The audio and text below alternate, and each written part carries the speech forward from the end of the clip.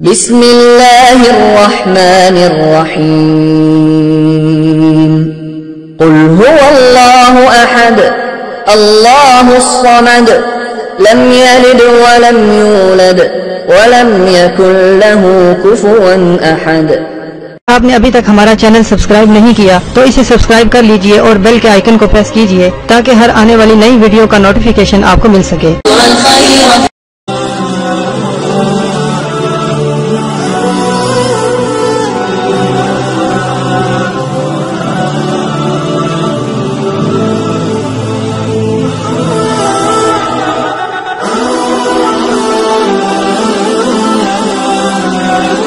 आपने कुछ चीज़ें आपको बताऊँगी, वो आप ले आइएगा। ठीक है? आपने मिश्री आपने मिश्री ले लेनी है।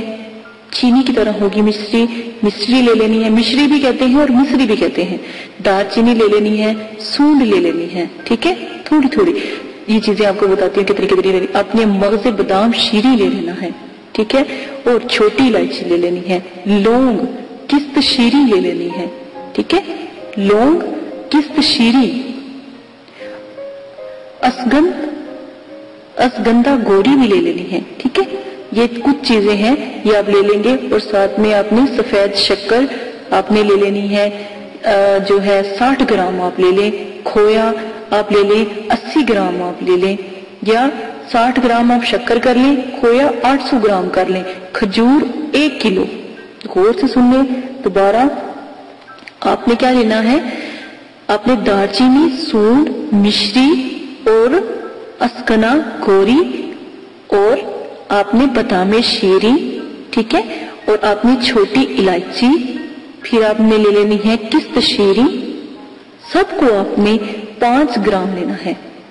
सबको आपने पाँच ग्राम लेना है। फिर आ जाए, आप मगज नारियल आपने चालीस ग्राम लेना है।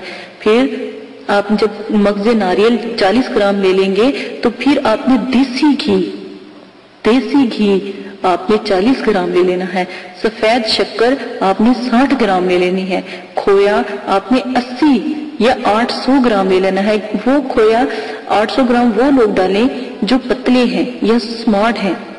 जो मोटे हैं, वो सिर्फ़ जो है 80 ग्राम खोए का इस्तेमाल करेंगे। खजूर एक किलो, मैदा 200 ग्राम आप ले लेना है, ठीक है? मैदा 200 ग्राम आप ले लेंगे। जो सा, अब तैयारी का जो तरीका है, वो मैं आपको बता देती हूँ। गंदम के मैदे और गंदम का जो आटा था, थोड़ा सा वो भी आप इस्तेमाल करेंगे। लेकिन जो आप मैदा, अगर आप मैदा नहीं लेना चाहते अगर जो सा मैंने आपको 200 ग्राम मैदा कहा है, वो अगर नहीं लेना चाहते तो आप फिर गंदम का आटा भी ले सकते हैं खालिस गंदम का आटा उसका भी बहुत अच्छा सफूफ बनता है, या आपको एक हलवा बताया जा रहा है, वो आप ज़रूर इस्तेमाल कीजिएगा।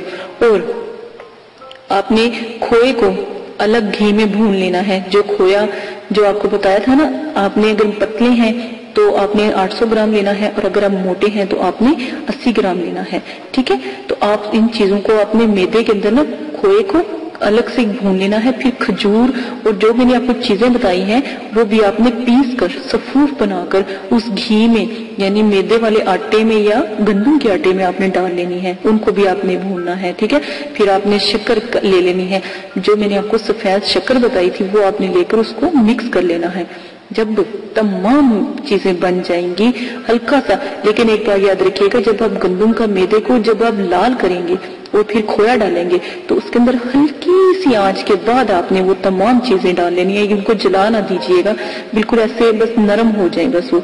ठीक है? फिर आप उसको उतार लें। और फिर जितने भी मैंने जो आपको ये मिश्री पिसी हुई दालचीनी इस तरह की जो थोड़ी बहुत चीज़ें बताई थी, वो आपने मिक्स करके एक जैसे हलवा बनता है, ऐसे हलवा आपका तैयार हो जाएगा। आपने उसको चूल्हे से उतार लेना है, हलवे को तमाम चीज़ें डालकर चूल्हे से उतार लें, लेकिन हल्की आँच पर, ठीक है? आपने 12 से 25 ग्राम सुबह शाम दूध के साथ आपने खाना है। सिर्फ़ आप किसी चीज़ से नहीं खाएँगे, सिर्फ़ दूध के साथ आप खाएँगे। और कद तो आपका बढ़ेगा ही। लेकिन जो आपके पेट की बीमारियाँ हैं, कब्ज की बीमारी है या और किसी किस्म की बीमारी है, वो भी आपकी ठीक हो जाएगी। मगर एक बात याद रखिएगा, जब भी आप कद बढ़ाने वाला हलवा इस्तेमाल करेंगे ना तो फिर आपने जो खट्टी चीज़ें हैं, खटाई वाली चीज़ें, वो नहीं आप खाएँगे। सिगरेट, पान, इस तरह की कोई चीज़ आप इस्तेमाल नहीं करेंगे। और जो